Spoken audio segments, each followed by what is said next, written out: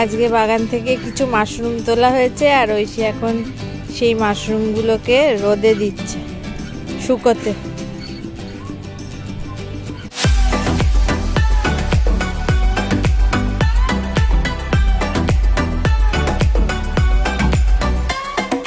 Hello everyone welcome back to আমার new blog আশা করছি তোমরা সবাই খুব খুব ভালো আছো। আর আজকে দুপুরবেলা থেকে এই ব্লগটাকে শুরু করলাম। কারণ আজকে সকাল থেকে আর টাইম পাইনি। ঐশীর এক্সাম স্টার্ট হয়ে গেছে তো ওই জন্য রুটিনটা একটু এদিক ওদিক হয়ে গেছে। আর বুঝতে পারছিলাম না যে এখন তোমাদের সাথে কোথা থেকে কথা বলব, কারণ চারিদিকে এত আওয়াজ হচ্ছে না মানে কোথা কোন জায়গায় গেলে আওয়াজটা কম হবে আমি বুঝতে পারছিলাম না।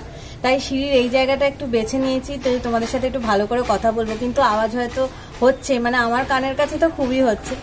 তো যাই হোক, আজকে আরও তোমাদের সাথে যেটা শেয়ার করব ব্লগে সেটা হচ্ছে একটা স্যুপের রেসিপি যেটা হচ্ছে মাশরুম স্যুপ আগের ব্লগেই তোমরা দেখেছ যে আমাদের প্রচুর মাশরুম হয়েছে, তো আমরা একদিন তো তরকারি করে খেয়েছি, আর আজকে ঐশীর খুব ইচ্ছা যে একটু মাশরুম স্যুপ খাবে। তো ওটাই আজকে শুধু ঐশীর জন্যই বানাবো, কারণ বাড়িতে আমি, মামুনি আর ওম আর ঐশী ছাড়া মাশরুম কেউ অত ভালো খায় না। কিন্তু ওম একটু তরকারি টরকারি করলেই বেশি ভালো খায়। আর আমি আর মামুনি আজকে বললাম যে, না থাক, আজকে আর স্যুপ খুব আমরা খাব না। আর আজকে হিরকের আসতেও খুব রাত হবে হয়তো। মানে নটা টটা বেজে যাবে, তাই জন্য আজকে আর কিছু আমরা সেরম কিছু ইয়ে করব না। তা ঐশীর জন্যই আজকে মাশরুম স্যুপটা বানাবো। তো সেটাই আজকে তোমাদের সাথে শেয়ার করব। আশা করছি তোমাদের আজকে ভালো লাগবে ব্লগটা যদি ভালো লেগে থাকে, তাহলে অবশ্যই আমাদের চ্যানেলটাকে লাইক করো। সাবস্ক্রাইব করো আর সবার সাথে শেয়ার করো। আর অবশ্যই কিন্তু আমাকে কমেন্ট করে জানাবে যে কেমন লাগছে আমাদের ব্লগগুলো আর আমাদের রেসিপিগুলো আর এমনিও এখন ডিসেম্বর মাস পড়ে গেছে, তো ভরপুর শীত হবে আশা করছি। তার জন্য স্যুপ টুপ খেলে তো ভালোই লাগে। আর পার্সোনালি এই মাসটা আমার ভীষণ পছন্দের একটা মাস, কারণ এই মাসে ক্রিসমাস টিসমাস হয় আর নানান রকম কেক টেক খাওয়া যায়। তো আমি বাড়িতেও কিছু কেক টেক বানাই, যেগুলো তোমাদের সাথে শেয়ারও করব। আর এমনি তো বাইরের কেক টেকগুলো তো আনা হয় স্পেশালি নাহুমের কেক তো আমাদের বাড়িতে আসবেই স্পেশাল যে ফ্রুট কেক ওরা করে আর কি, সেটা তো আসবেই। তো বেশ ভালো লাগে আর কি মানে এই মাসটা। একটু এদিক ওদিক ঘুরতে যাওয়াটাও হয়। আর এমনিও এই ডিসেম্বর মাসে একটা স্পেশাল দিন আছে, যেটা তোমরা ক্রমশ জানতে পারবে আস্তে আস্তে আর কি। তো সব মিলিয়ে এই মাসটা আমার ভীষণই মানে খুব ভালো লাগে বলতে পারো। চলো একটু পরে নিচে যাই, নিচে গিয়ে তোমাদের সাথে রেসিপিটা শেয়ার করি। ওময় সে একটু খেলে টেলে নিক, আমিও জামা কাপড়গুলো তুলে তুলে নিই। তারপর আবার তোমাদের সাথে, তোমাদেরকে নিয়ে নিচে যাব।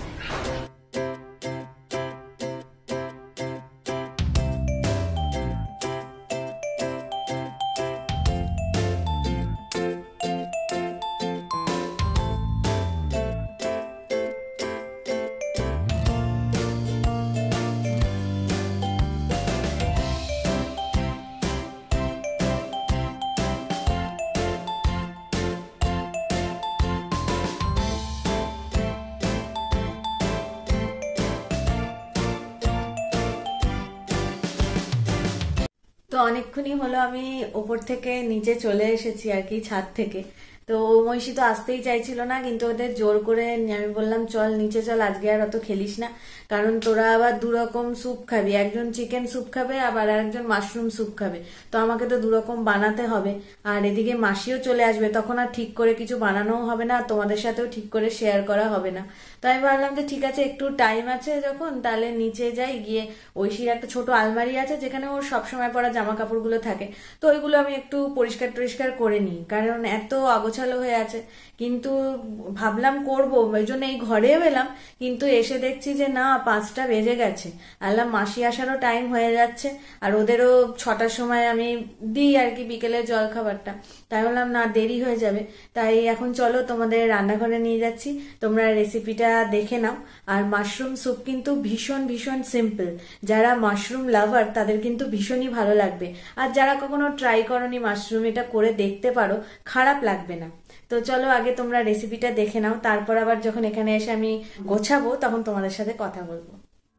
মাশরুম কর্ন স্যুপ বানানোর জন্য আমি এখানে কিছু মাশরুম নিয়ে নিয়েছি, যেটা আমার গরম জলে ধোয়া আর হালকা সেদ্ধ করা। দু তিন চামচ মতো দুধ কর্ন আমুলের ফ্রেশ ক্রিম যেটা আমি একদম সামান্য ইউজ করব। অলিভ অয়েল, একটা গোটা পেঁয়াজ আমি কেটে নিয়েছি, এক চামচ আদা বাটা, এক চামচ রসুন বাটা, সামান্য পেঁয়াজ শাক আর সামান্য গোলমরিচ। প্রথমে আমি কড়াইতে সামান্য অলিভ অয়েল দিয়ে দিলাম। তেল গরম হয়ে যাওয়ার পর আমি পেঁয়াজ দিয়ে দিচ্ছি। পেঁয়াজগুলো খুব হালকা ভাজতে হবে যাতে বেশি লাল লাল না হয়ে যায়।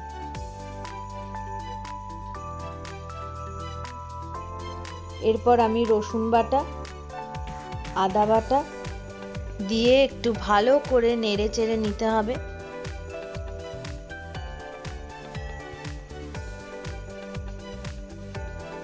তারপর আমি মাশরুমগুলো এর মধ্যে দিয়ে দেব আর একটু ভালো করে নেড়ে চেড়ে নিয়ে আমি স্বাদ মতো একটু নুন দিয়ে দেব। এরপর মাশরুমগুলো একটু ভাজা ভাজা হলে আমি একটা থালাতে তুলে নিয়ে এটাকে ঠান্ডা হতে দেব। ঠান্ডা হয়ে যাওয়ার পর একটু মাশরুম রেখে বাদবাকি মাশরুমগুলোকে মিক্সিতে আমি পেস্ট করে নেব। মিক্সিতে পেস্ট করার পর মাশরুমের পেস্টটা যদি মনে হয় খুব শুকনো হয়ে গেছে, তাহলে সামান্য জল দিয়ে আর একবার পেস্ট করে নেওয়া যায়। এরপর আমি আরেকটু অলিভ অয়েল দিয়ে দিচ্ছি কড়াইতে। তারপর মাশরুমের পেস্টটা এর মধ্যে দিয়ে দিচ্ছি। মাশরুমের পেস্টটা দেওয়ার পর যে আমার বাদবাকি মাশরুমটা ছিল সেটাও এর মধ্যে অ্যাড করে দিলাম। পেঁয়াজ শাক, গোলমরিচ আর কর্ন এই সব কিছু একসাথে অ্যাড করে দিয়ে ভালো করে নাড়াচাড়া করে নিচ্ছি। এরপর এর মধ্যে প্রয়োজন মতো জল অ্যাড করে দিচ্ছি। যদিও এই স্যুপটা একটু থিক স্যুপ হবে, খুব বেশি পাতলা হবে না। এরপর ভালো করে নাড়াচাড়া করে নিচ্ছি। ভালো করে নাড়াচাড়া করে নেওয়ার পর আমি সামান্য দুধ দিয়ে দিচ্ছি। এরপর সামান্য একটু চিনি অ্যাড করে ভালো করে নেড়ে চেড়ে নিয়ে গ্যাস অফ করে দিচ্ছি আর ঢাকা দিয়ে পাঁচ মিনিট স্ট্যান্ডিং টাইম দিচ্ছি। মাশরুম কর্ন স্যুপ আমার রেডি হয়ে গেছে আর ওপর থেকে একটুখানি ক্রিম ছড়িয়ে আমি ঐশীকে এখন দিয়ে দেব। আর ওমের জন্য চিকেন কর্ন স্যুপ।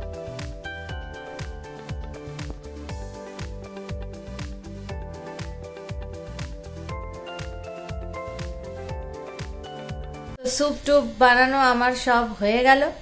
আর ঐশী মাশরুম স্যুপ খাচ্ছে, আর ওম চিকেন কর্ন স্যুপ খাচ্ছে, একদম সিম্পল আমি অত কর্নফ্লাওয়ার টাওয়ার দিয়ে করতে অত পছন্দ করি না। তো সিম্পল ও যেই প্লেন আর কি কর্ন আর চিকেনের স্যুপ হয় সেটাই খাচ্ছে। আর ঐশী তো বলছে যে মাশরুম স্যুপটা খুব ভালো লাগছে। কিন্তু আমি একটা কথা বলব, যারা মাশরুম খেতে খুব ভালোবাসো, তারাই কিন্তু এই স্যুপটার মজা পাবে। নইলে যারা মাশরুম খেতে ভালোবাসো না, তাদের কিন্তু এই স্যুপটা হয়তো ভালো লাগবে না। কিন্তু একটু এই স্যুপটা না ঠিক হয়। মানে খুব যে পাতলা বা একটু ঠিক সেরম নয়, এই স্যুপটা টোটালি একটু ঠিক হয়। কিন্তু খুব টেস্টি হয়। মানে আমার তো মাশরুম খেতে খুবই ভালো লাগে। তো আমার এটা বেশ ভালোই লাগে খেতে। আর ঐশীরও খুবই ভালো লাগে। ওই জন্য আজকে ঐশী বললোই করার জন্য। নইলে শীতকালে এটা একটু আধটু আমি করি। খুব কমই করি, কিন্তু করি। আর এই স্যুপটা খেলে কি বলতো? আর মাশরুমটাকে তো বললাম যে আগে থেকে একটু সেদ্ধ টেদ্ধ করে নেওয়া, নিয়ে গরম জলে ভালো করে ধুয়ে একটু সেদ্ধ করে নিয়ে, অল্প একটু সেদ্ধ করে নিয়ে তারপর করলেই এটা ভালো। কারণ যেগুলো আমি মানে সবগুলো তো আমি মিক্সিতে গ্রাইন্ড করিনি। যেগুলো রইল আর কি, ওইগুলো আর কি মুখে পড়লে বেশ ভালো লাগে আর কি। চিকেনের মতোই লাগে। চিকেনের টেস্ট নয়, কিন্তু চিকেনের মতোই লাগে। মাশরুমের নিজের তো কোনো টেস্ট নেই, কিন্তু যত তুমি এর মধ্যে মশলা টশলা দেবে, তো বেশ ভালোই লাগবে খেতে। তো এর সাথে তুমি যদি স্লাইস পাউরুটিও নিয়ে নাও বাটার দিয়ে, তো সেটাও খুব ভালো লাগবে। আমি তো এটা অলিভ অয়েলে করেছি। তোমাদের অলিভ অয়েল না থাকলে তোমরা বাটারে করতে পারো। আর যারা বাটার খেতে মানে পছন্দ করো না, বা মনে হবে বাটার দিয়ে করব না, তারা কিন্তু এটা সিম্পল হোয়াইট অয়েলেও করতে পারো। তোরা খেয়ে নিক, তারপরে আমার একটু প্ল্যান আছে যে যেহেতু ডিসেম্বর মাস পড়ে গেছে, তো আমাদের বাড়িতে না ক্রিসমাসে একটু সাজানো টাজানো হয়। আর কি, আমিও ছোটবেলা যেহেতু মিশনারি স্কুলে পড়তাম, তো আমার এই ফেস্টিভ্যালটা একটু ভালো লাগে। তো আমি যিশুর ওই সাজানো টাজানো হতো আর কি, আমাদের স্কুলেও হতো, তো সেই দেখে আমি বাড়িতেও করতাম আর ওম ঐশীও যেহেতু মিশনারি স্কুলে পড়ে, ওদেরও একটা বেশ ইচ্ছা হয় যে ক্রিসমাসে একটু সাজাবে টাজাবে তো আমরা এটা এভরি ইয়ারই সাজাই টাজাই। তো এই বছর ফার্স্ট তোমাদের সাথে শেয়ার করা হবে।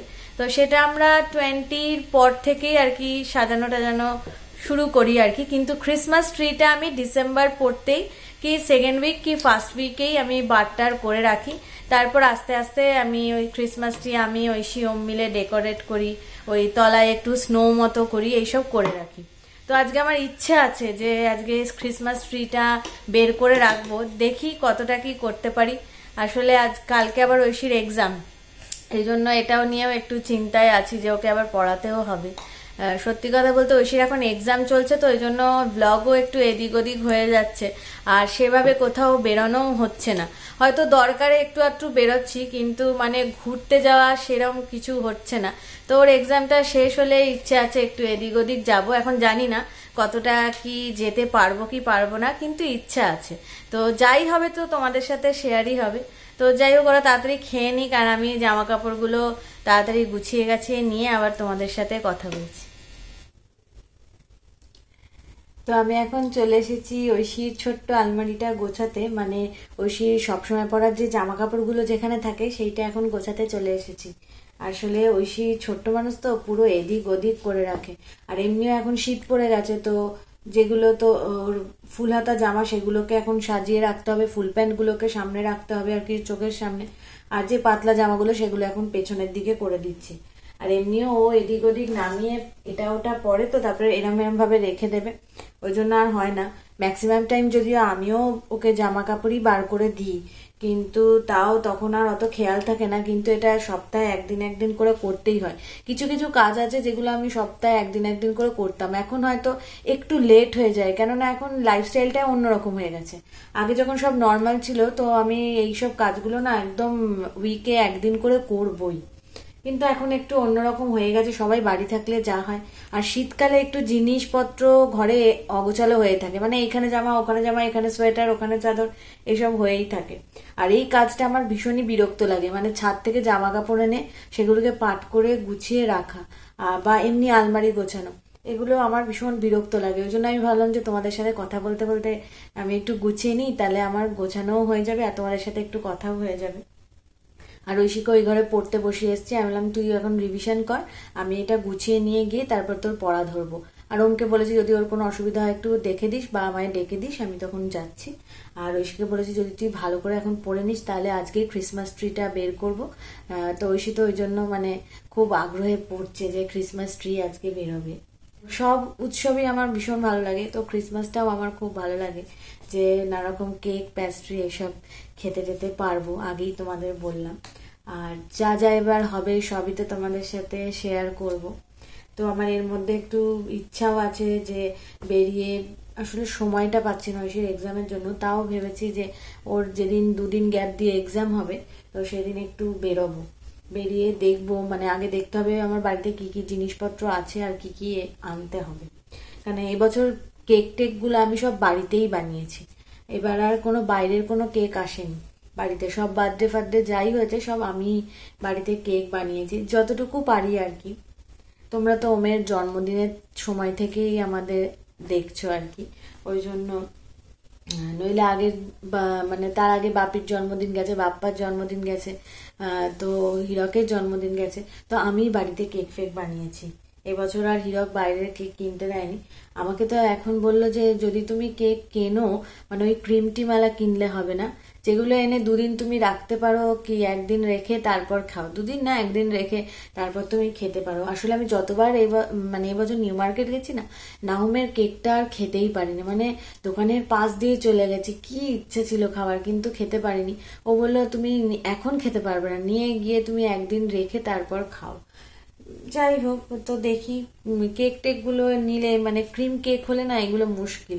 ওগুলো তো আর গরম টরম করা যায় না। আদারওয়াইজ সবই মানে গরম গরমই যা কিছু বাইরের খাচ্ছি, গরম গরমই খাচ্ছি। তো চলো এগুলো তাড়াতাড়ি পাঠ করে নিই, তারপর আবার তোমাদেরকে দেখাবো যদি আজ এই ক্রিসমাস ট্রিটা বের করি। আর ডেকোরেশনের যা যা আইটেম থাকে সেগুলো এভরি ইয়ার কিছু না কিছু কিনি।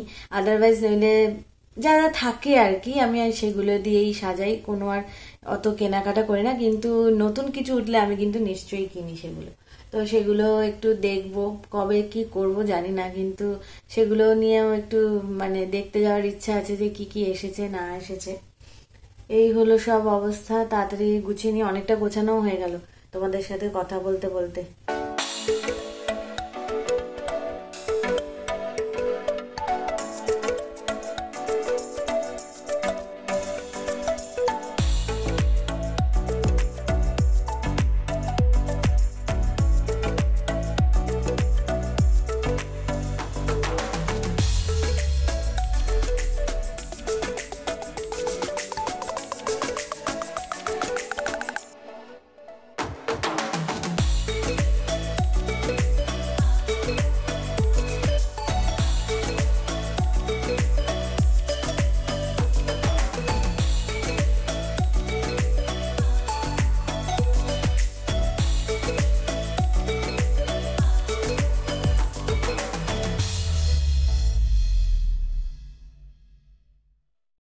ক্রিসমাস ট্রি আমার ঘরে চলে এসেছে। আর কিছুদিন পরেই এটাকে ডেকোরেট করব। সব তোমাদের সাথে তো শেয়ার করবই, আর কি তোমরা দেখতেই পাবে। তো তোমরা দেখতে পাচ্ছ আমার ড্রেসটাও চেঞ্জ হয়ে গেছে, কেননা নেক্সট ডে হয়ে গেছে। কালকে আর ব্লগটাকে এন্ড করা হয়নি, কারণ কালকে আলমারি গোছাতে গোছাতে তারপরে ঐশীকে পড়াতে চলে গেছিলাম। পড়াতে পড়াতে না অনেক রাত হয়ে গেছিল, আর হিরকও ফিরতে অনেক দেরি হয়ে গেছিল, আর কি সাড়ে নটা বেজে গেছিল।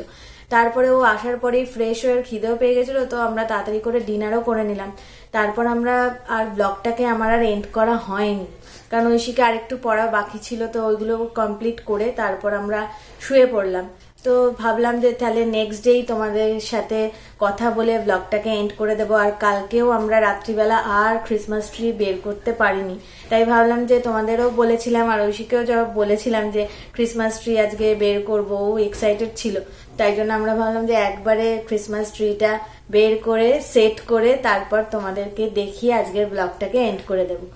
তো আমাদের ব্লগটা কেমন লাগল অবশ্যই আমাকে কমেন্ট করে জানিও, বিশেষ করে রেসিপিটা যারা মাশরুম খেতে খুব ভালোবাসো, তারা কিন্তু অবশ্যই এটা ট্রাই করো। আর অনেস্ট রিভিউ এখানে তুমি, তোমরা পাবে না, কারণ হিরক মাশরুম খেতে একদমই ভালোবাসে না। ওর অতটা এটা ভালোও লাগে না। কিন্তু যারা মানে মাশরুম খেতে ভালোবাসো আমার মতো, তাদের কিন্তু এটা ভালো লাগবে, বারবারই বলছি। তো আজকের ব্লগটাকে এখানেই এন্ড করছি। যারা প্রথমবার দেখছ, তারা অবশ্যই আমাদের চ্যানেলটাকে সাবস্ক্রাইব করো লাইক করো, আর সবার সাথে শেয়ার করো, আর অবশ্যই কমেন্ট করে জানাবে যে আজকের ব্লগটা তোমাদের কেমন লাগল বা রেসিপিটা কেমন লাগল। খুব তাড়াতাড়ি নেক্সট ব্লগ নিয়ে তোমাদের সাথে দেখা হচ্ছে। সবাই খুব সুস্থ থেকো, ভালো থেকো। Till then bye bye